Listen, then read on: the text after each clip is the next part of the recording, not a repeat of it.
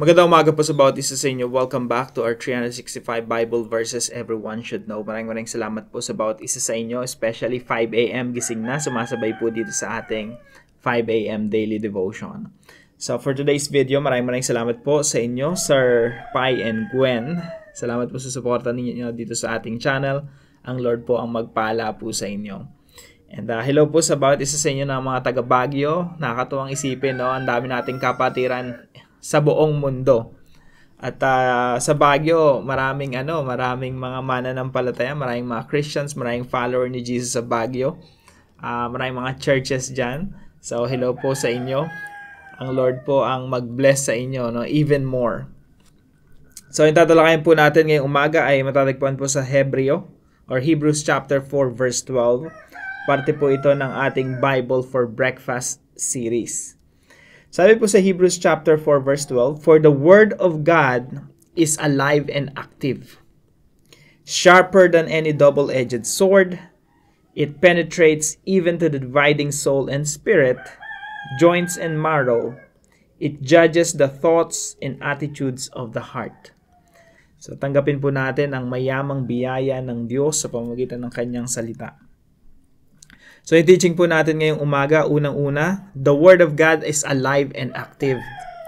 Now, pag nagbabasa po tayo ng Biblia, marami pong ano to eh. Uh, yung Bible, merong historical, merong collection of uh, sayings, kagaya ng Proverbs, meron namang mga awit, kaya yung Psalms, Salmo, uh, meron naman ditong mga letters, mga sulat ni ng mga apostol, sulat para sa mga iglesia. at maraming mga genre, merong apocalyptic literature like Revelation at sa mga propeta sa Old Testament. No, maraming maraming mga genre. Now, pag nagbabasa po tayo no, ng, ng Biblia, hindi po ito ordinary lit, ordinaryong literature lang. Hindi ito basta historical record of what happened in the past. Hindi ito ordinaryong history book. Ito po ay may buhay. Ito po ay buhay at ito po ay merong energy, no? Na kumikilos talaga sa buhay natin. So it's alive. Buhay po ito. Ibig sabihin, pwede tayong makipag-interact sa Bible habang binabasa natin ito. At uh, ito ay mangu- nangungusap talaga sa bawat isa sa atin. Ito ay salita ng Diyos. So when the when we read the Bible, God is speaking to us. Meron siyang buhay at ito ay active. Pag sa, sa Greek po ng active ay energase. Ibig sabihin, energy. Meron talagang ano, enerhiya na kumbaga may bisa talaga. Uh, ano ba pag sinabing mabisa? Ibig sabihin, meron talagang transformative power. Meron talagang pagbabago na mangyayari sa atin whenever we read the Bible. So the Word of God is alive and active. Hindi po ito ordinaryong literature lang Kagaya po sa mga napasukan kong, isa sa napasukan kong eskwelahan, no? Trinatrato yung Biblia na ordinaryong literature. No, this is not an ordinary literature. This is not an ordinary historical record of what happened in the past. This is alive and active. This is the Word of God. So pag nagbabasa po tayo ng Biblia, ang Diyos mismo ang nangungusap sa atin. At uh, merong intensyon ng Diyos kapag binibitawan niya yung kanyang mga salita ang intention niya po ay pagbabago sa ating buhay, maayos yung ating relasyon sa Diyos, at maayos yung ating pamumuhay. so that's one. Oh, the Word of God is alive and active. Sabi dito, sapagkat ang salita ng Diyos ay buhay, mabisa, para baguhin tayo. Number two, the Word of God is the sword of the Spirit. Ito po ay weapon, sword, uh, espada ng Espiritu.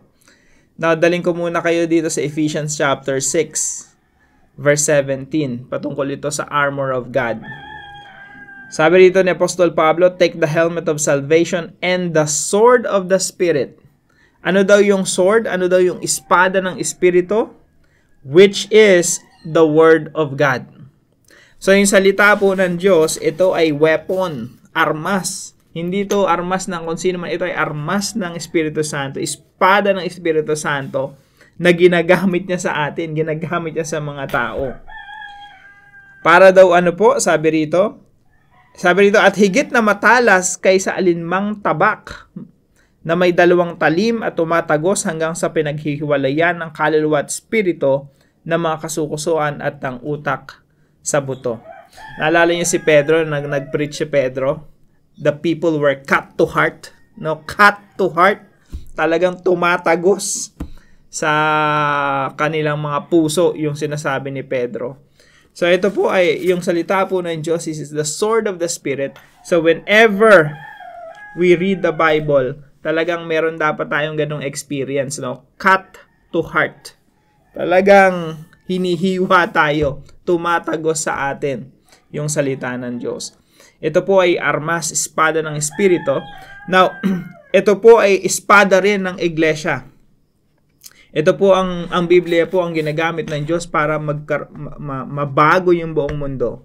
Magkaroon ng transformation sa buong mundo. Magkaroon ng maraming tao na mababago alam niyo po, yung mga, tayo talaga mga tao, matitigas po ang ulo natin talaga eh.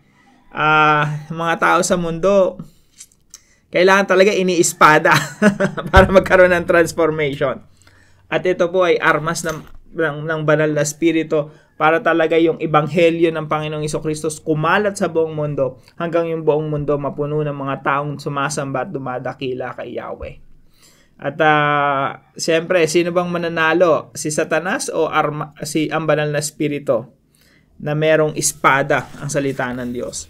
So ako talaga sure na sure ako 100% na yung mundo natin mapupuno ng mga tao na sumasamba at dumadakila kay Yahweh. Kahit na sa paningin natin, ang daming tao pa rin na mas marami sa kasalukuyan na hindi sumasamba sa Diyos. Pero someday in the future, no, as the gospel expands, as the kingdom of God habang lumalaganap ang kaharian ng Diyos at dumadami ang iglesia, ang, ang, ang people of God, eh mas lalo pong gaganda yung mundo natin.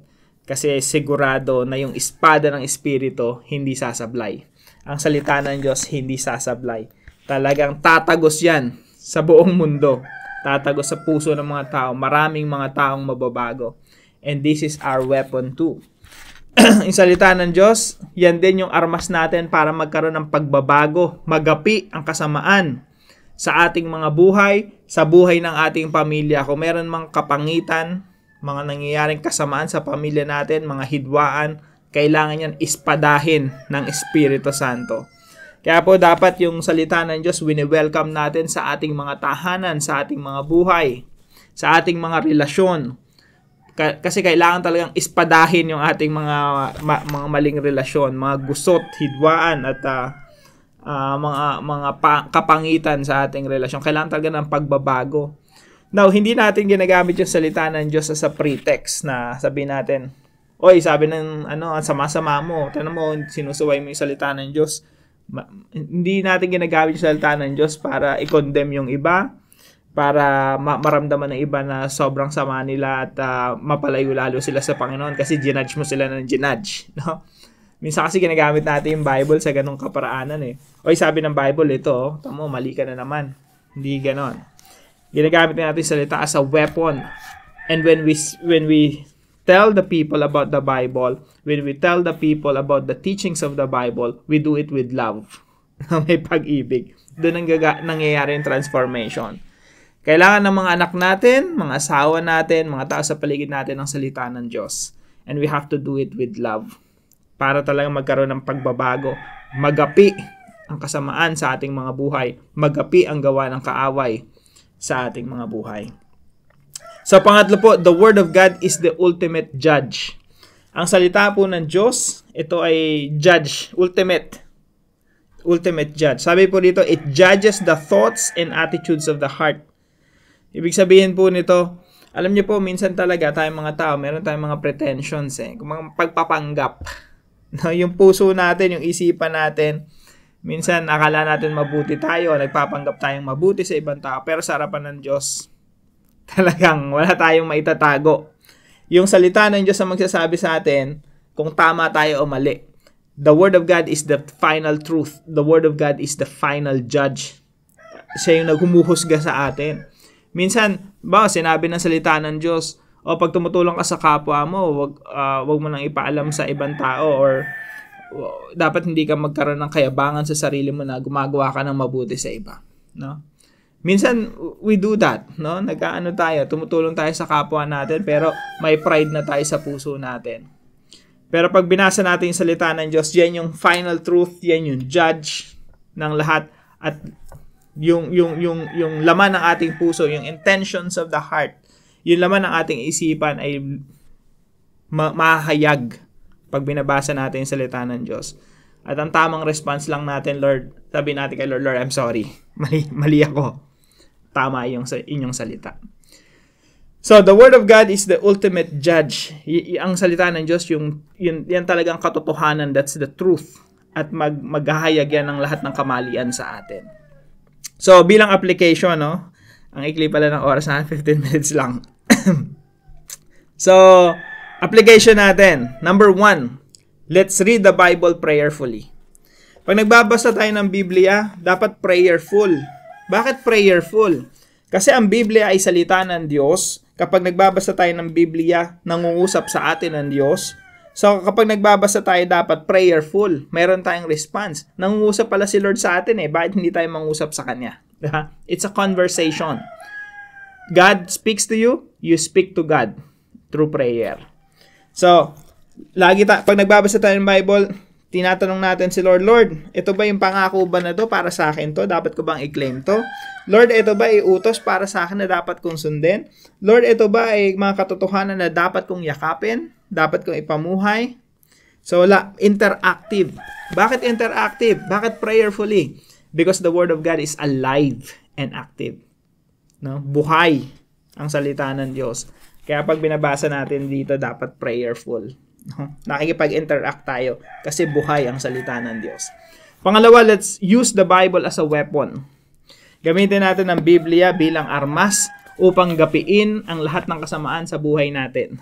Kasamaan sa pamilya natin. Lahat ng kapangitan, pagandahin, lahat ng kamalian, itama sa pamagitan ng salita ng Diyos. At lahat ng bal- baloktot, ituwid sa pamamagitan ng salita ng Diyos. Gusto mo bang maayos ang ang pamilya mo?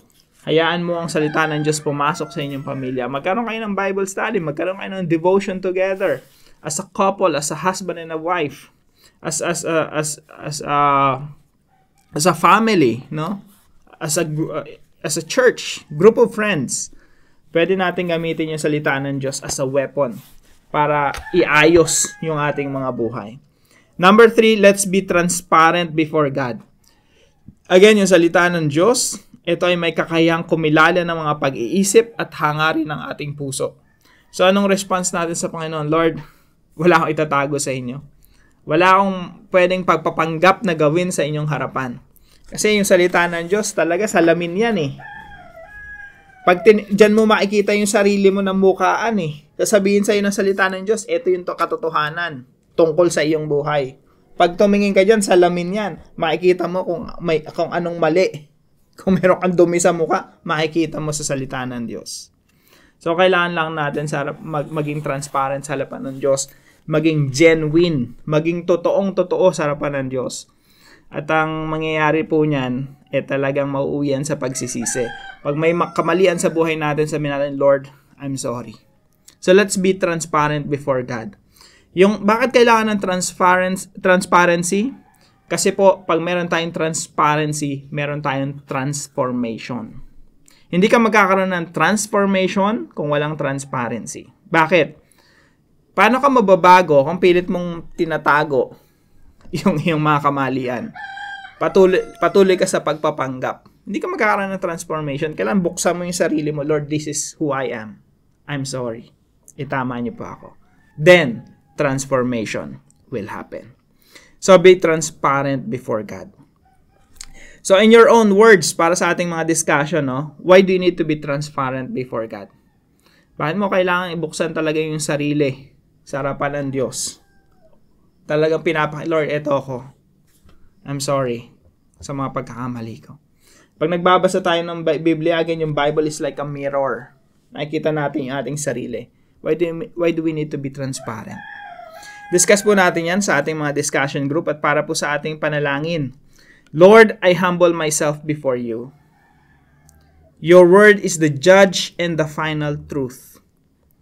Please forgive me for any falsehood and pretensions in me. Give me a clean mind and a pure heart. Kausapin po natin si Lord right after this. Tayo po yung manalangin. At para po sa comment section below, if you have, if you learn something new, paalam nyo po sa amin. Sulat lang po kayo dun sa comment section para po maging encouragement sa iba. At kung meron po kayong talagang naging nakuha rito sa devotion natin, huwag niyo po kalimutan na i-share ito sa ating mga kapamilya at kaibigan. So yun lamang po, magkita-kita tayo bukas alas 5 ng umaga dito sa ating 5 a.m. daily devotion. See you po.